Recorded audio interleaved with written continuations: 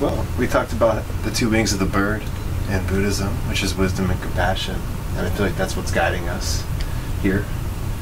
Um, compassion for all beings and people that are coming, including for ourselves. And then wisdom, uh, the wisdom of the Dharma and being able to live our lives in the way that we would like, in a beneficial way.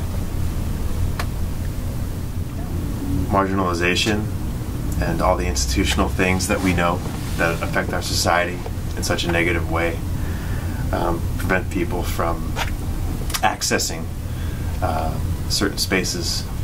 And we're hoping that we're able to, even just in a small way, change something. Um, that would be very beneficial for everybody.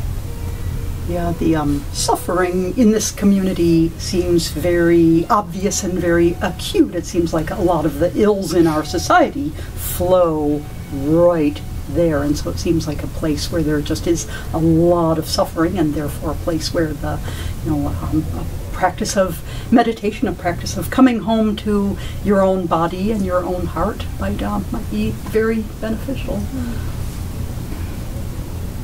And also, in in in the practice that I do and my my community does, um, it, Buddhism is about non-separation and interconnection, and a lot of times people don't know how to make that happen. Um, this is a, a, a way that people from all different Buddhist traditions can come in, and, and, and, it's, and it's a group where, where, where, as I said in the very beginning, it's accessible.